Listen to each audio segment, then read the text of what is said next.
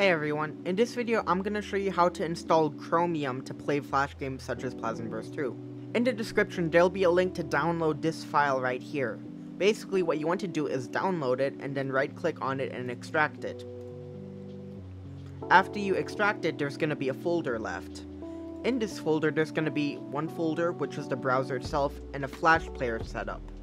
Now, if you're wondering where I got this from, basically I went on Google and I searched for ungoogled Chromium. I then went to the downloads page, went to browse releases, Windows, 32-bit, and scrolled all the way down to find this version right here. As for the Flash player, I went to an archive version of the archive Flash player versions and got one from here.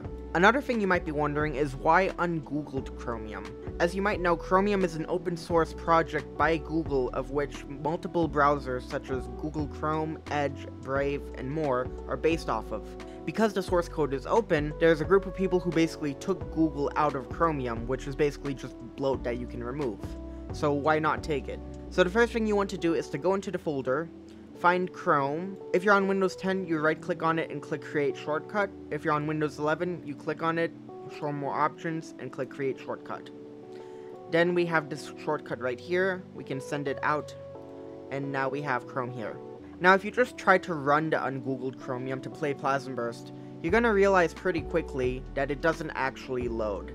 This is because ungoogled Chromium doesn't come with its own Flash player and instead relies on a Flash player that you have installed. If you already have a Flash version installed, then it's gonna run just fine, but if not, what you want to do is double click on the Flash player that I include and install it.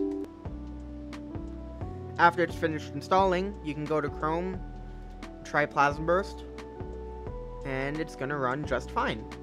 You can also go to the SWF version, which is basically full screen, and that plays just fine too. It's literally as simple as that. Just download it from the link in the description, extract it, make a shortcut, install Flash Player, and then just open the browser and you're good to go. As for performance, I find it to perform just as good as Live for me, so if you want you can just use this instead and it'll be perfectly fine. So yeah, thank you for watching, and I hope you have a good day. Bye bye.